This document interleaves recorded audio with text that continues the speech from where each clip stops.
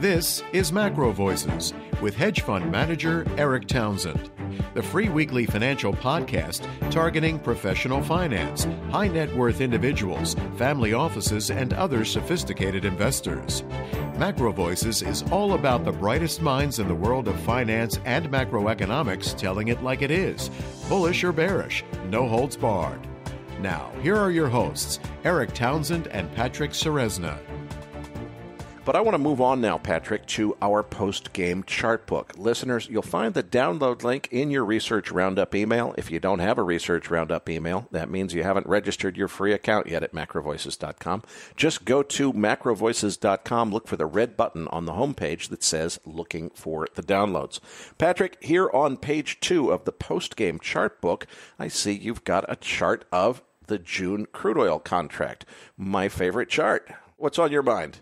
Erik, all I just wanted to show was on that June contract, uh, the the recovery that we've seen off of that five dollar printed low. We can't even use the continuous contract because it's got that minus forty print on it, and it's been quite a bit of a recovery. Certainly interesting to see uh, your thoughts as to what happens next here. So I wanted to start by asking you though to clarify something you've uh, said many times that contango in the futures market is a proxy for and therefore a measure of the demand for storage in Cushing, Oklahoma. Now, contango refers to a difference in price where the latter delivery month is priced higher than the near delivery month. What does that have to do with the demand for storage?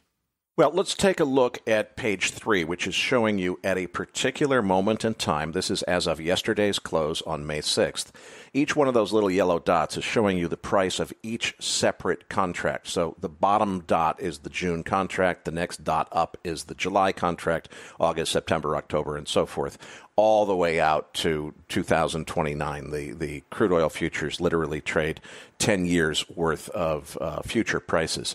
We're really only looking at the front of the curve there. That difference in price, well, what does that have to do with storage? The easiest way to understand this is put yourself in the shoes of someone who owns physical crude oil that's in a tank in Cushing, Oklahoma. And their lease on that tank space is running out next month. They they can't keep the oil there because they don't have storage after sometime, say a few weeks from now. What are they going to do? Well, they've got to call somebody and try to buy some more storage space. They also have another option though that's available to them. What they could do is they could sell the June delivery contract, that's the bottom dot, and buy back, let's say for sake of argument, the December contract, which is about $4 higher right now in price.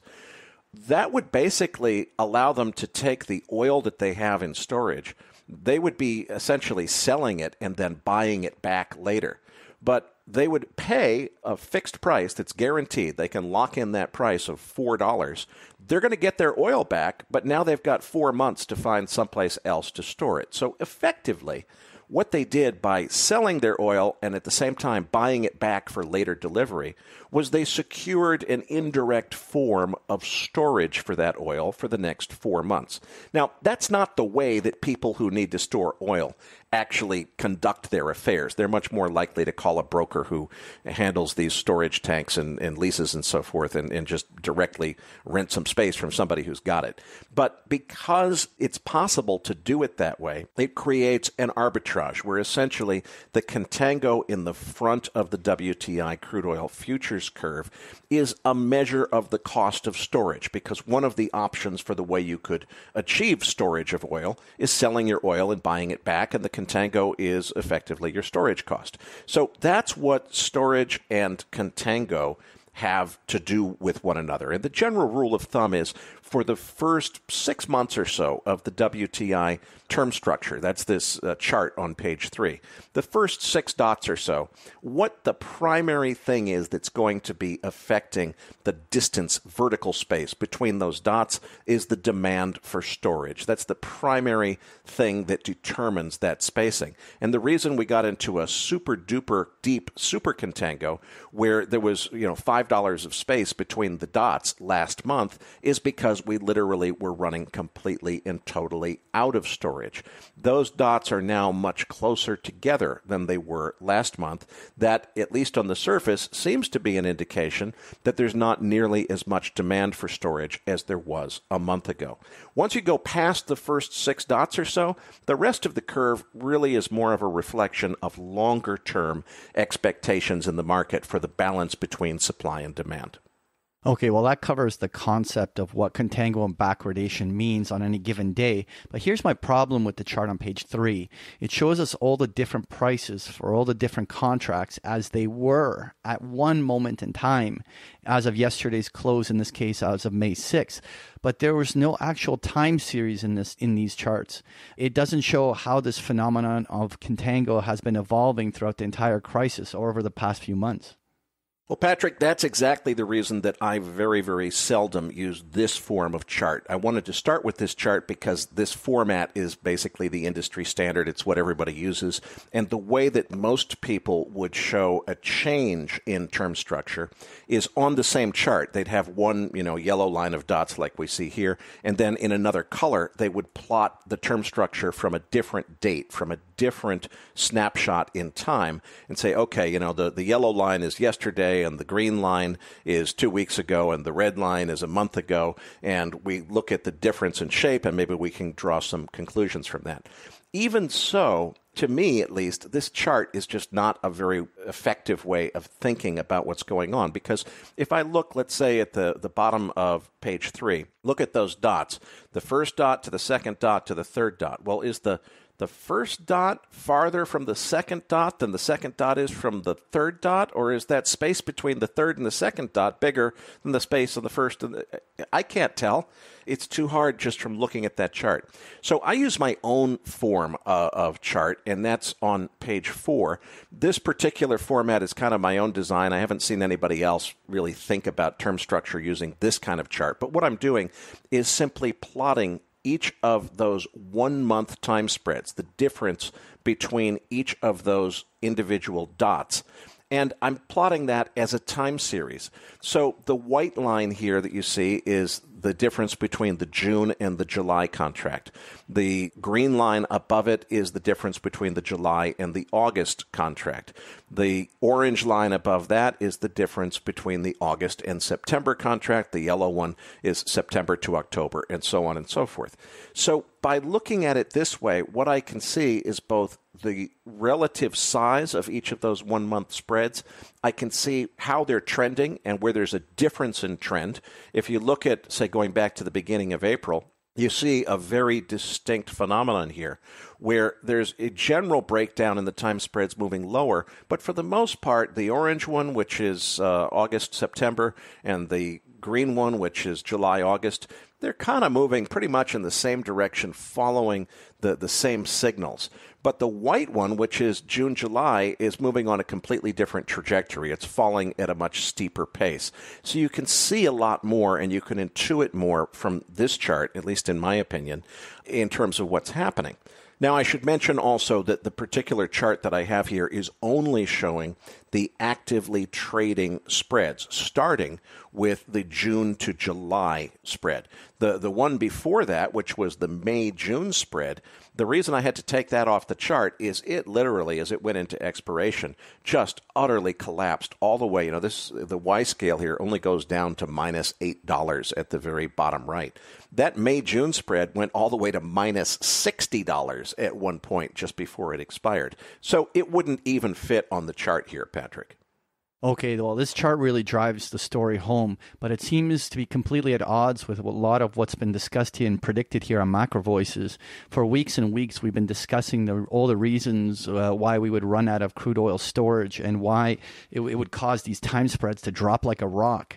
And uh, we can clearly see that's exa- exactly what was happening right up until April 21st when the pattern bottoms. But uh, since then, it's been an uphill ride for these time spreads. Uh, and the look of things, we've retraced almost all the way back to those uh, uh, mid March levels. Now, Erik, please help me understand here. If anything, it seems like the chart is showing it's uh, pretty clear that the storage crisis is done and over with, and having ended back on April 21st, and uh, that there's no longer a shortage of crude oil storage in Cushing, Oklahoma. Or maybe am I reading something wrong? What uh, conclusions are you drawing from all of this?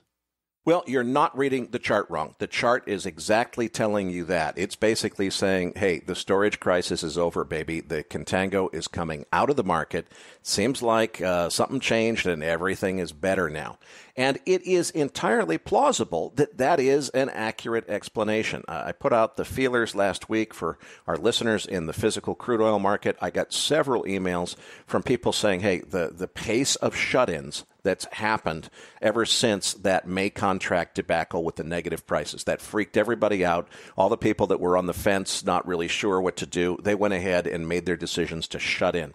So we really are seeing en masse shut ins of production that is dramatically reducing that demand for storage. So it is possible, I emphasize possible, that this could be it. It could be that uh, you know the price signal worked. It, it freaked everybody out. It caused the producers to shut in, and we no longer have a major contention for storage space in Cushing, Oklahoma, which certainly is what this chart appears to be telling us. Hold on. You just explained last week that you thought a smaller inventory builds in both Cushing and nationally were being misinterpreted, and that seems very relevant to this discussion. Now, please explain again and give us an update on whether you still think that's what's going on here. Well, what I predicted two weeks before it happened, back when we were getting 15 million barrels uh, of national builds and 5 million barrels of Cushing builds, I said, I think what's happening and I think what's coming is going to be a much smaller Cushing build, maybe even a Cushing drawdown. And everybody's going to assume it means, okay, there's no more demand for storage. The, the storage crisis is behind us. In fact, it, it could mean that. It's possible that that's exactly what it does mean. But it's also possible that the reason, you know, think about a glass of water. If something is already full, you can't add more to it if Cushing is as full as it can get, and there's no room to put any more oil in because there's nobody who's willing to lease any spare storage capacity at any price, well, then the size of the builds have to get much smaller or even go to zero because there's no room to add any more. It doesn't mean that there's no demand, it just means that there's no room to add any more. Now, Patrick, my first thought was that phenomenon I predicted is in play. What we're seeing is smaller Cushing builds. The reason for the smaller Cushing builds is probably because there's no space left at all, and oil cannot be added. It has to go into much more expensive floating storage instead, and the market's taking it the wrong way, and that has caused the beginning of a short squeeze because perhaps the, the most crowded trade that there is in the oil market has been short time spreads. Lots and lots of big traders, short time spreads in size they've had to start covering. It's caused a short covering rally or a short squeeze where everybody's being forced out. And I thought maybe that's based on a false signal. Well, the way you would validate that is to look at the tanker charter rates. If tanker charter rates are going through the roof, well, that means that, yeah, it's exactly what I thought. The reason for the smaller Cushing builds is because it all has to go into floating storage. It doesn't fit into Cushing, and the market's got the wrong signal. So let's go ahead and take a look at page five, which is showing spot tanker rates in the VLCC market, the very large crude carrier market. And I went and looked at this chart thinking if this is going to a new high, that really confirms my thesis. Well, guess what? Not only is it not going to a new high, it's crashing back to levels not seen since February. And I thought, oh boy, if we're seeing the tanker market also reflecting a sudden drop in demand, maybe that means that we really and truly are past that peak in storage and we don't have demand for storage anymore was one of our listeners who pointed out to me on Twitter. He said, "Wait a minute, Erik.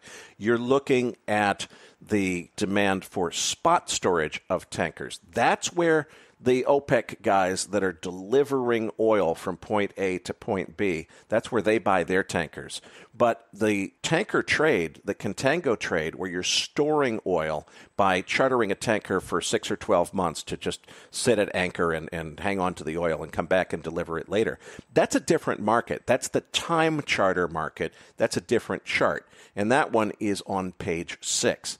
So all of a sudden we see on page six, wait a minute, that number's coming down. Well, first of all, why did the number on page five come down? The reason it came down is because OPEC's production cuts went into effect May 1st. That means OPEC countries are using less of those delivery tankers to deliver oil. Those prices are coming down. Well, if those prices are coming down, that means there's more tankers in the ocean that are available to, to be hired for something it only makes sense that that has to cause the time charter market to come down too. Did it come down just as much or not quite as much? Well, it really, if you look at page six here, it didn't come down nearly as much. So I'm kind of on the fence here, Patrick. I, I think there is still room for the interpretation that what has happened here is there's been a short squeeze in time spreads that has pushed both the time spreads and the flat month price higher it's being driven by this perception that we don't really have a, a storage problem anymore, that, we, that the demand for floating storage is collapsing, which, if you looked at the first chart on page five showing tanker rates, you'd come to that conclusion. If you look at the page six chart, though, which I, I want to thank that listener for pointing this out to me, it really tells a, a very different story. So I think the jury is still out here. There's definitely room to conclude that what's going on is we've seen a short squeeze in both front month price and in time spreads. May have topped today, just as I look at the chart as we're speaking on Thursday afternoon. It looks like a reversal may be upon us in both the flat price of the June contract and in time spreads. But hey, this is, uh, you know, we're at the point in this crisis. In the beginning, I was super high conviction. I'm like, folks, I know exactly what's going to happen. I'm sure of it. Well, we're at the hard part now where it's, you know, I see a couple of scenarios. I think you could interpret this either way. But my base case, if I have to say what I think is most likely, I, think this thing's overdone. I think at least part of this has been a short squeeze. Maybe we do have less demand. We're past the peak for demand and storage because there's been so many shut ins of production. Very, very possible. We've got lots of evidence to corroborate that that is going on. But is the demand for storage really almost gone completely away, as the, the chart on page four seems to imply? Now, I don't think so. I think what's happened is some of it's gone away. It started a short squeeze. That short squeeze has had to play out, may have topped out today, and it remains to be seen, Patrick, how this ultimately plays out. So, Erik, it remains to be seen how this uh, all plays out here. But what are the signposts? What are we looking for? How this all gets resolved? Well, for that, we need to go back to page four in the slide deck. Now, you mentioned earlier, you said that it looks like the storage crisis appears from this chart to have ended on the 21st of April. Actually, if you look a little more closely at the graph on page four, you'll see that it's the June July contract, the white line, that bottoms on the 21st of April. But really, all the other later spreads, the green one is July, August, and the orange is August, September, and so forth. They all bottomed on the 28th, not the 21st. So, what's special about the 21st? That's the question you have to ask. Why did the June July spread go so far down on the 21st? And furthermore, look at how steep it declined into the 21st. It was really only in those last few days from the 16th of April to the 21st that it just took an absolute nosedive. I mean, it was on a downward trajectory before, but it was kind of in line with, with what the spreads above it were doing. And then on the 16th, it just took an outright nosedive. Now, this chart doesn't even do justice to how big of a nosedive that was, Patrick, because intraday on the 21st, this spread actually traded all the way down to minus $12. It would be well off the bottom of the scale here. Uh, this chart is only showing closing prices on the end of each day, so it just shows you uh, minus 710 or so, which is where that spread closed on the 21st.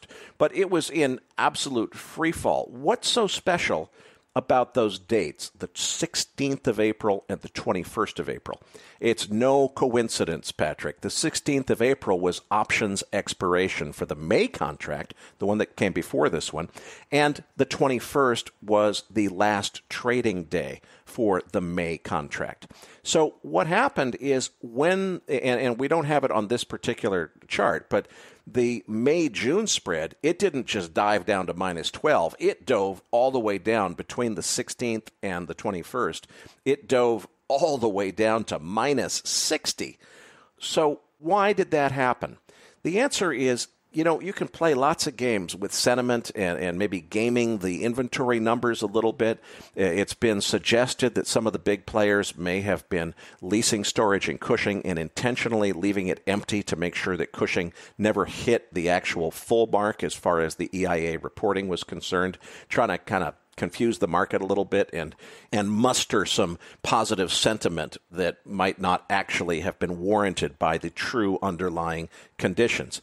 But the thing is, when you get to the contract going into expiry from options expiration to the actual final trading date, that's when the fat lady sings, so to speak. That's when you find out whether or not there's an imbalance between the number of physical shorts that are standing for delivery, that are going to actually deliver oil, as opposed to rolling their paper contracts forward, versus the number of physical longs, people who are able to actually receive delivery, as opposed to paper traders who have to roll out of that position. That's when the fireworks really start, and that's when you can't really hide reality from the market. So the answer is I don't know. It could be that the storage crisis really is mostly behind us. I'm very, very skeptical of that. I find it very hard to believe. If I'm right, it would be into options expiration, which is next Thursday, the 14th of May, would be when the fireworks start. And by the 18th or 19th of May, the 19th Tuesday, is the last trade date for the June contract the uh, 18th monday is called the penultimate day which is a great big latin word that means the second to last one. Uh, why they, they use that fancy word i don't know but that's what they call it. The second to last trading day is usually where everybody has to get out of the market because the last day is really only for the, the physical traders to finalize their, their transactions. So by the end of the 18th we're going to know one way or the other. If on the 18th we, we see basically the backwardation on the June July spread, which on this chart is showing one spot 24. Uh, let's say it's still less than $2 as of Monday the 18th. Uh, okay, look, folks, uh, I guess I was a little bit late on the call. The storage crisis, it's behind us. It's getting better. It's time to start thinking about how you play the upside of the oil market from here. I think it's more likely that we're going to see some more downside before we get to the 18th, maybe a lot more downside. But really, we don't find out until we get past OPEX, which is next Thursday. And needless to say, we'll have another update for our listeners on next week's Macro Voices, which we'll be recording just a few minutes after the pit close on the OPEX day. Until then, it sounds like the message is to watch for a possible downside reversal and maybe a big one on both time spreads and the front month price. Is that the gist of it? Exactly. And again, I am hearing feedback from some of our listeners in the physical market saying, "Hey, the rate of shut-ins is just scary. It could be that this is this is real. The demand for storage has abated significantly because a whole bunch of people were forced to shut in. It could be as simple as that. Uh, I have a really hard time believing that the storage crisis is over already, despite what these charts are telling us. And you know, we'll find out. Certainly by the end of the month, that will be it. In the interest of full disclosure, I just want to mention I have exited most of my time spread shorts last Thursday and Friday, as I described on last week's podcast. Even though I, I, didn't think the move made sense, I thought it was set to continue. I was right about that. I was fortunate to get out of the way. I did put some of those time spread shorts back on today, thinking maybe this is the top today of a short squeeze. But that's a much smaller position, much less leverage than I was using before, because I'm really not sure of it this time, where I was pretty darn sure the last time around. So we'll see what happens. Overall, though, uh, I don't know if it's time yet for us to start thinking about buying the bottom of this market and you know how to play the recovery from here maybe there's one more push down. But you know if it's one more push down pretty soon if we haven't already seen the bottom we're going to get to a bottom and it's going to be time to look at how you buy the bottom of this market. And I don't think it's with USO or uh, or any of the other ETF products which are very vulnerable to the contango at the front end of the curve. The the way to play that is with time spreads further out on the back end of the curve. Let's save that conversation until we get there, until we think that we're actually past that point. It could be as early as next week's episode. We'll see.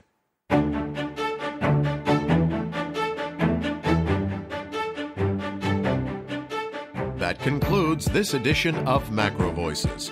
Be sure to tune in each week to hear feature interviews with the brightest minds in finance and macroeconomics.